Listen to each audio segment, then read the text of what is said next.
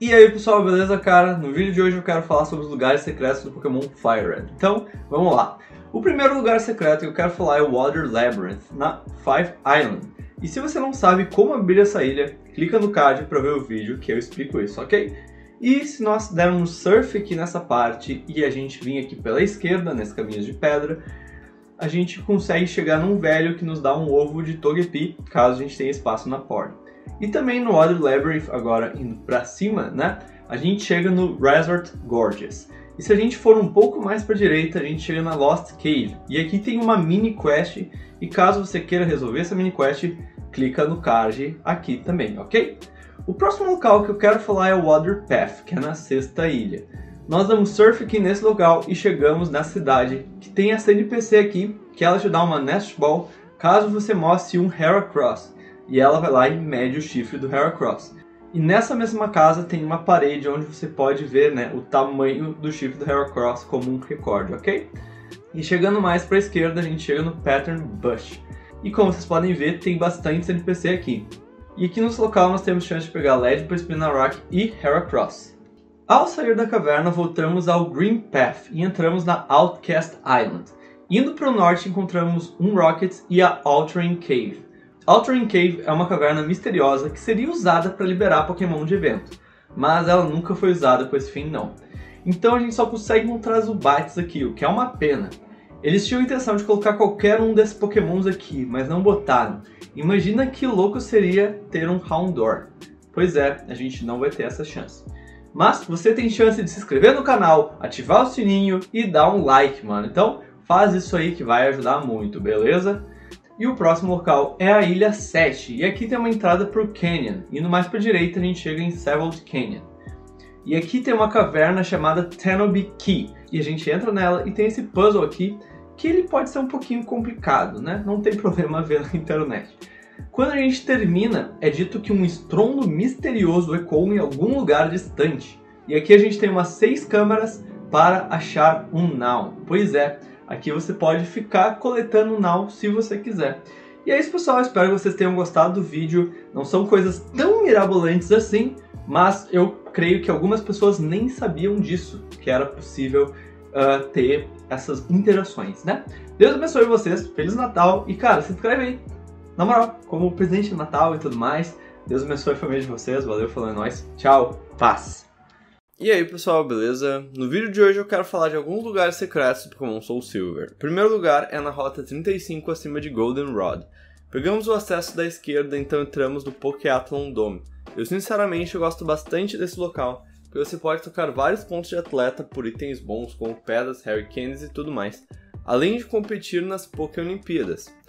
E vamos para Cinnabar e seguimos para a direita até encontrarmos a Seafoam Islands. Estando lá, a gente entra nessa caverna de gelo e desbrava tudo. Então o Articuno está lá majestosamente nos esperando. Ele está no nível 50. Aqui a gente vai para o Power Plant que fica do lado direito de Cerulean. E tem os ácidos aqui na frente. Ele também está no nível 50. Então, no Mount Silver, se a gente pegar o Waterfall e seguir em outros Waterfall e Rock Climbs, a gente encontra o Moltres nos esperando no nível 50 e flamejante. Explorando por aqui, pegamos com o NPC o tema Steelwing, Flamethrower e Harry Candy. E aqui em Celadon a gente vai para o segundo andar e encontramos o Crasher Wake, e ele nos dá uma máscara de algum inicial. E após a gente fazer a missão do metrô, a gente fala com Steven, a gente vai para Silphco e ele nos entrega um dos iniciais de Hoenn. E vamos para Peter. Assim que vamos para Peter, a gente conversa com esse idoso aqui e ele nos entrega Rainbow Wing e agora a gente pode ir atrás do Ho-Oh. E vamos para Ecrutik. Esse moço tenta nos parar, porque a gente precisa de todos os insígnias de Jotô. E esse outro tenta nos parar pedindo a Rainbow Wing. E chegando no final, o ho nos espera no nível 70. Chegamos em Celadon e dentro desse prédio tem algo bem interessante.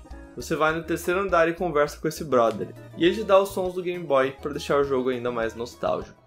E indo para a direita, depois de Peter, a gente chega em Empty Moon. E se você não lutou contra o rival, ele vai lutar contra você.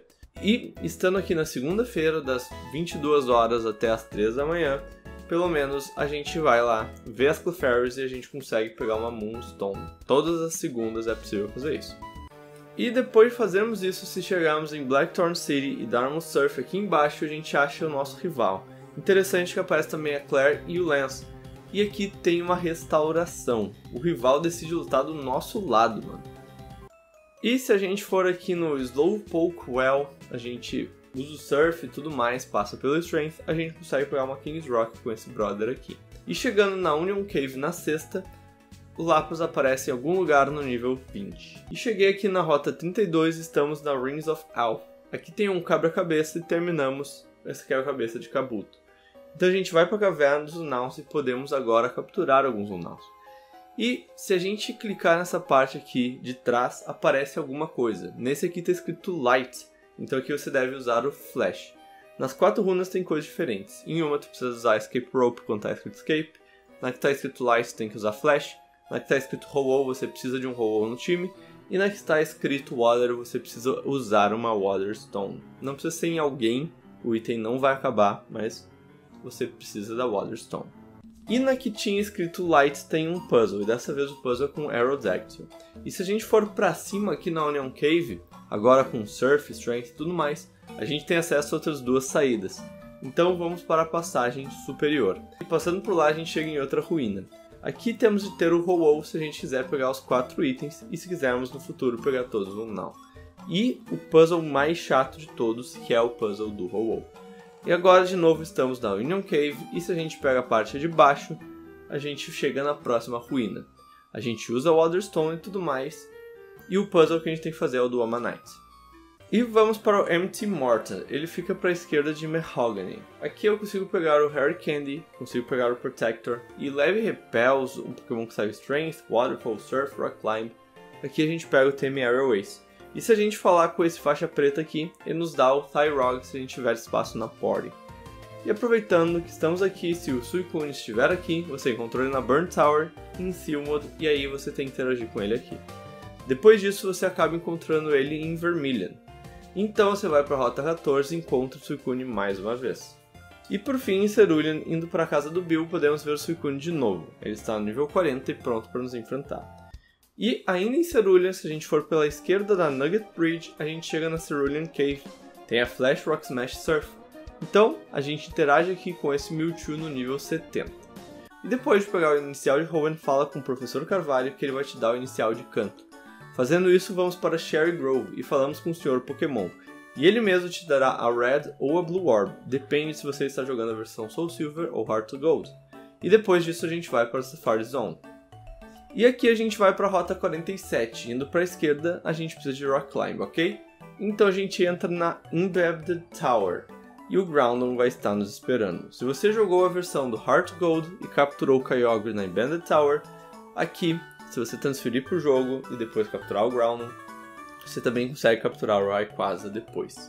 E por fim, o último lugar secreto é em Olivine, na Rota 40, onde a gente chega na Battle Frontier. E aqui a gente pode, com Battle Points, comprar itens e golpes e também ganhar símbolos da fronteira. Eu espero que vocês tenham gostado do vídeo, Deus abençoe vocês, valeu, falou, é nóis, tchau. Cara, eu sou apaixonado pelo pós-jogo do Pokémon White, mano. Sério, assiste o vídeo, você vai entender que tem muita coisa, então já deixa o like você vai gostar. E bora lá, sem enrolar. O primeiro lugar que eu quero mostrar fica na rota 6. A gente atravessa esse surf aqui e vai indo para a direita até que a gente chega na caverna. Aqui a gente precisa de Flash, Strength e muitos repels. É sério, se atente a isso. Aqui esse velho fala sobre os três mosqueteiros Pokémon. Em sequência a gente pode encontrar Harry Candy e Duskstone. E aqui o Cobalion nível 42 está nos esperando. Depois que a gente batalha com ele, ou a gente foge, ou a gente captura, enfim, isso libera para que a gente possa apoiar no futuro o Virizion e o Terrakion, ok? Então vamos para Pinwheel Forest e aqui abre essa parte da floresta. Logo em seguida já encontramos o Viridion, que também está no nível 42.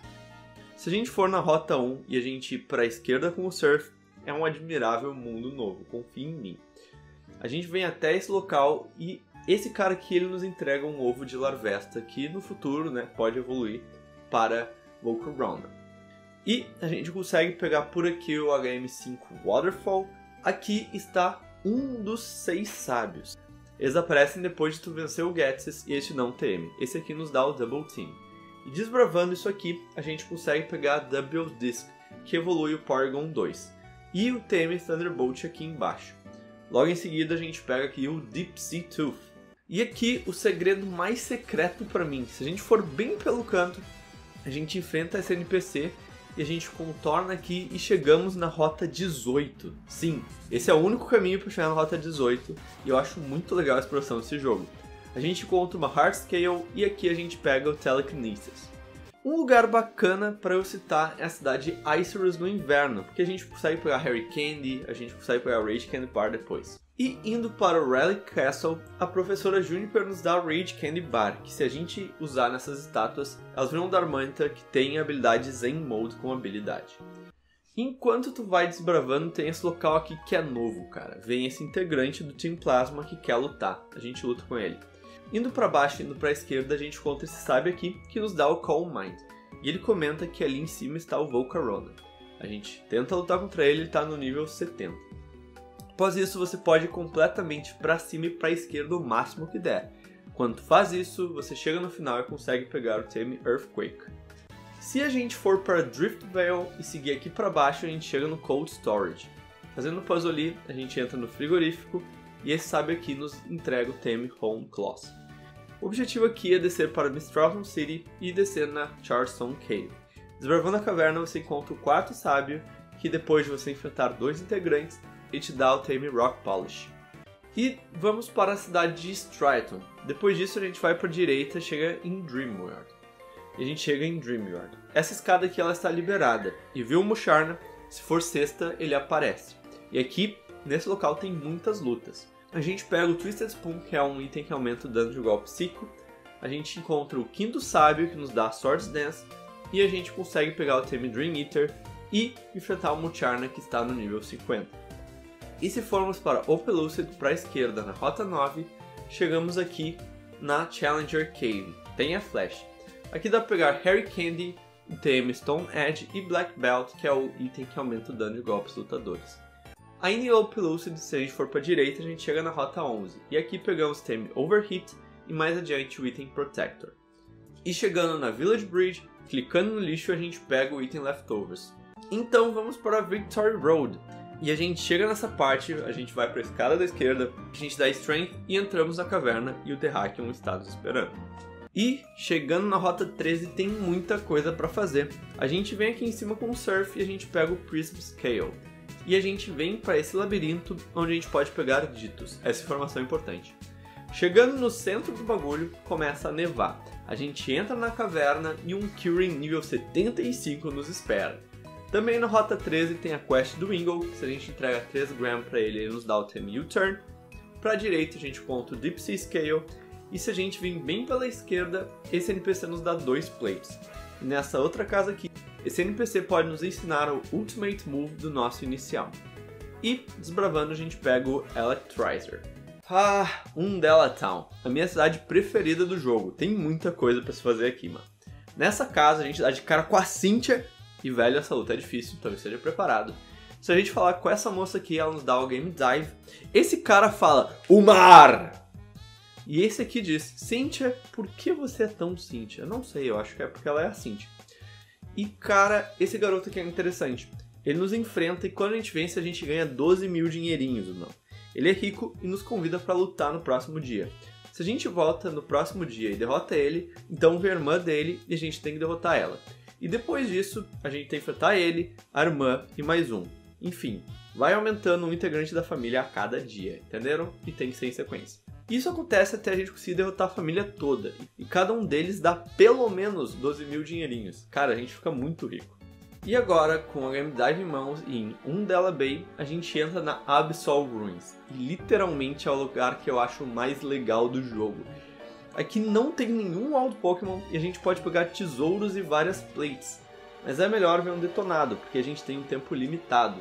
Se a gente demorar muito, uma onda nos empurra para fora e tem três andares para desbravar. Você consegue chegar até o final. E essa exploração vale muito a pena, porque na casa dos ricos a gente conversa com esse cara e vendemos as coisas que encontramos. Cara, a Relic Statue vale 200 mil dinheirinhos e tem itens que valem ainda mais, ou seja, vale muito a pena. Chegamos na Rota 14 e aqui tem a Waterfall. Indo para a esquerda a gente encontra o último sábio e ele nos dá o Bull Cap. Prosseguindo à esquerda você chega na Abundant Shrine. E aqui nesse templo poderia aparecer o Landorus, se a gente tivesse os outros dois gênios lendários. Aqui também pegamos uma Harry Candy e o Tammy Flamethrower. E saindo daqui, a gente consegue pegar o Reaper Cloth. E aqui na Rota 15, se a gente for nesse prédio, um cientista está trabalhando uma tecnologia para poder trocar Pokémon com outros jogos e tal. E essa mina aqui troca um Rotom por um Dito, lembra? Eu falei que o Dito era importante. E aqui a gente consegue pegar o item Upgrade, que evolui o Porygon. E indo para a esquerda nós chegamos na Marvelous Bridge. Mano, e essa mina sumiu do nada. Andamos um pouco mais e a tríade da sombra me para. Velho, parem de me dar susto. Eles me dão Adamant Orb, Gricious Orb e Lustrous Orb. Eles dizem que nem eles sabem por que, o Getsis quer me entregar, mas valeu tio Getsis! E esse cara aqui me vende um Magikarp por 500 pouco dinheirinhos. Mas se eu não me engano, esse Magikarp é japonês. E por fim, vamos para Liga, onde podemos ter uma revanche contra todos os Elite Four, e cada um tem 6 Pokémon agora. Depois disso, abre o acesso para a gente ver o campeão. E começamos a escalar, então chegamos aqui, e é muito louco, porque o Castelo do N não tá mais por aqui. E essa luta contra o Alder, ela é bem funkzinha, então esteja preparado. E depois de vencermos, entramos aqui e chegamos no Hall da Fama. Ele é bem simples, mas é muito legal essa parte dos créditos e tudo mais. Eu gosto demais desse jogo, se você nunca jogou Pokémon White, dê uma chance, porque o pós-jogo, ó, é maravilhoso. Tanto do White quanto do Black 2, ou do Black ou White 2. Enfim, espero que vocês tenham gostado do vídeo. Deus abençoe vocês. Valeu, falou, é nóis. No vídeo de hoje vamos falar dos lugares secretos do Pokémon Emerald. E vai ser muito topster. O primeiro lugar que eu quero falar é Meteor Falls. Se a gente pegar o Waterfall aqui e continuarmos avançando, nos deparamos com essa área aqui, que podemos pegar Dragon Claw e o Bagon. Depois da liga, se a gente for para cá, abre essa cratera e o Steven aparece aqui. E cuidado, ele tem um time bem forte, ele não é fácil não. O próximo local é saindo de Meteor Falls e dando surf aqui. Não tem nada de tão especial, mas eu acho um lugar bem bacana, e tem Kelp Berries por aí. O terceiro lugar que eu quero citar é o Abandoned Ship. Se a gente for para a direita enquanto estivermos em Dilford, nós encontramos aqui esse local. E podemos fazer quests para pegar o Ice Beam e podemos fazer uma exploração aquática. Se a gente der dive aqui, a gente pode entrar nessas cabines que possuem itens escondidos. E no fim das contas, se a gente terminar a quest, a gente pode trocar com o cientista por um Deep Sea Tooth ou uma Deep Sea Scale. O quarto local que eu quero falar é New Malville, que para acessarmos precisamos vencer o Watson. Falar com ele, então darmos surf exatamente aqui. Entramos e abrimos, e aqui possuem Voltorbs, Thunderstone e depois de fazermos a quest pegamos o Tame Thunderbolt com o Watson. O quinto lugar que eu quero falar é da Mirage Tower. Essa torre aparece de vez em quando e se ela não aparecer apenas volte a rota e apareça de novo, ok? Tenha certeza que você tem uma match bike com você. E aqui você pode pegar um fóssil ou de Lilip ou de Anorip. E para acessar a Artisan Cave você tem que vencer a liga e ter o Walmer Pale, que se pega aqui. Vá para Battle Frontier, venha bem pro canto e bote no menu e Warmer Pale para incomodar esse Sudowoodo. Após isso, siga o caminho ali com o surf e tudo mais, você entrará na Artisan Cave, onde encontrará Is Virgos. Esse outro próximo lugar é para abrir outros lugares, na verdade. A gente vem para Passive Log e a gente segue esse caminho aqui até a gente adentrar numa caverna com um dive. A gente dá dive, a gente sai daqui e a gente dá dig na entrada da caverna. A gente lê aquela inscrição e coloca o Wailord na frente e o Relicanth atrás. Então ocorrerá um terremoto que abrirá outros caminhos. Então vá para Petalburg na rota 104 e chegue na rota 105. Desça até essa parte de areia e suba e vai abrir a Island Cave. Aqui você lê a inscrição e circunde a caverna bem assim e a recompensa será o Regice. O outro local que abriu é aqui embaixo, se chama Desert Rooms. Você lê a inscrição, ande para trás duas vezes, para a esquerda duas vezes e você abre o Red Rock. E para o terceiro red você vai para Lyrical Fiend bastante para a esquerda. Então aqui você entra na Ancient Tomb, vá até o centro da caverna e dê Flash, e aqui você abre para o Red Steel. Para abrir o Groundon, entre no Weather Institute converse com o cientista. Se ele falar sobre Drought, quer dizer que é insolação. E ele falou sobre isso na Rota 118, que fica bem ao lado de Móvel. Abrimos com isso a Terra Cave e podemos enfrentar o Groudon, lógico que isso é para o pós-game, ok? Para pegar o Kyogre, converse de novo com o cientista até ele falar sobre Rainfall, que é chuva, e ele falou na rota 127. Então a gente vai para lá. E para pegar o Kyogre é um pouco mais difícil, porque ele se encontra num dive. mas a gente consegue encontrar. Apenas siga o caminho e encontramos de novo. E esse dive nos leva para Marine Cave, e aqui a gente encontra o Kyogre. E por fim, o local mais secreto de todos, a Mirage Island. Esse vídeo aqui eu peguei do YouTube porque eu mesmo nunca fui para lá. A gente sabe que ela está acessível se o NPC diz, eu consigo ver a Mirage Island hoje. A Mirage Island fica na rota 130 e ela é bem grande, como vocês podem ver. Ela tem escadaria enorme, tem Wineouts nível 5 a 50. E tem a Liet Berry, que é o único local onde se pode pegar essa berry. E para aparecer a Mirage Island, tem que acontecer um fenômeno bem raro. Todos os dias um número de 0 a 65.535 é gerado no jogo. E se esse número for o mesmo nos dois primeiros bytes do valor de personalidade do jogador, é possível ver a Mirage Island. Resumindo, isso é raro pra caramba. Mas é isso, pessoal. Espero que vocês tenham gostado do vídeo. Deus abençoe vocês. Jesus ama vocês. Valeu, falou, é nóis. E aí, pessoal, beleza? No vídeo de hoje vamos falar dos lugares secretos do Pokémon Platinum. O primeiro que eu quero falar é a Wayward Cave, a caverna que fica abaixo daqui. E esse lugar ele é muito legal porque aqui tem Gibbles, Harry Candy e o TM Earthquake. O outro lugar que eu quero falar é Trophy Garden. Aqui a gente vê um Manaphy, o que é bom, porque há lugares que a gente só pode abrir se a gente tiver visto todos os 210 Pokémon de Sinnoh. Outro lugar que eu gosto bastante é o Old Chateau, que fica em Eterna Forest. Aqui, se a gente for das 10 da noite até as 4 da manhã, a gente pode clicar na TV e capturar o Rotom. Depois de ver os 210 Pokémon, a gente conversa com o Professor Rowan e aí a gente consegue a National Pokédex. E aqui a gente pode pegar outros Pokémon. Primeiro vamos para Canalev. Conversamos com o garoto e a mãe dele, então conversamos com o pai dele, que é o Marujo.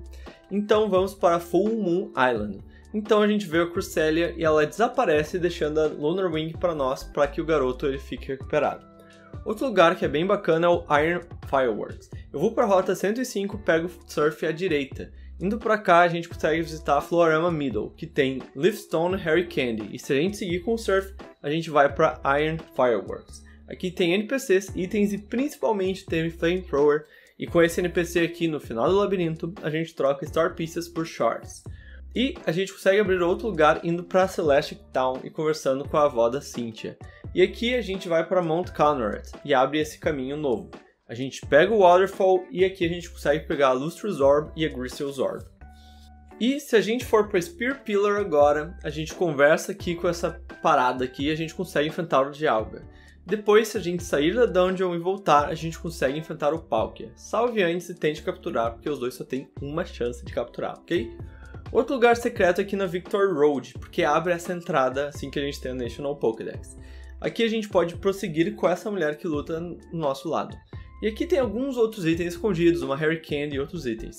Mas o mais legal mesmo está na saída dessa caverna, que tem uma rota nova, a rota 224. E esses são os itens que podemos pegar na rota 224. Podemos pegar duas Harry Candies, o que é bem maneiro. E tem essa pedra aqui que se a gente tiver Oak Leather, que é um item de evento, a gente pode pegar o Shaming. Mas infelizmente não temos. E se a gente for aqui pela rota 214, a gente segue para Spring Path e a gente chega na Sand of Spring. Então a gente entra na caverna aqui para chegar na Turnback Cave. Lemos essa inscrição que diz que basicamente a gente tem que passar por três pilares antes de chegarmos em 30 salas. Então se tudo der certo, a gente acaba pegando a Rare Bone, que é um item que é só para vender mesmo, que vale 5 mil Pokédólares, e a gente entra nesse portal percebe que agora a gente pode entrar na Distortion World mais uma vez. E aqui a gente pode pegar Gristle's Orb e capturar o Giratina caso a gente não tenha capturado antes. E com a Gristle's Orb ele troca de forma, ok? E aqui a gente pode ir também para Sandgen, onde a gente vai para baixo. E indo à direita a gente chega no Paul Park. Aqui a gente pode trocar Pokémon com outros jogos, se você quiser e tiver como, porque eu não tenho, enfim. E outro lugar que eu gostaria de citar é em Snow Point. Depois que tu abre a National Pokédex, tu pode vir aqui, onde tem Sneasel, Jinx e no final um puzzle bem chato, que faz a gente chegar no Red Gigas. Infelizmente a gente só consegue pegar o Red Gigas se a gente já tiver o Red Rock, Red Steel ou o Red que a gente consegue, claro, trocando de outros jogos para esse. Ainda em Snow Point a gente pode descer nesse navio depois de vencer o Elite Four. A gente pega o navio e entra na Battle Zone. E aqui, pessoal, tem muitas rotas, itens e treinadores. Mas na rota 226 tem uma pequena quest. Se a gente segue para cima, a gente entra na caverna e a gente luta contra a Marx e contra a outra que eu não lembro o nome. Após isso, tem uma outra sessão de batalhas em dupla. Então a gente alcança o cientista e a polícia para o cientista e vamos para a entrada da caverna. A gente tem que voltar para Survival Area e ir na casa do Buck. Quando a gente faz isso, a gente vê outros líderes de ginásio e a gente pode enfrentar eles. Vai em dias diferentes se você quiser enfrentar todos. E depois disso a gente pode seguir para Stark Mountain. E aqui a gente volta e quem está com a gente agora é o Hitran. E esses são os lugares que eu gostaria de falar. Espero que vocês tenham gostado do vídeo. Deus abençoe vocês. Jesus te ama. É nóis. Valeu. Falou. Tchau.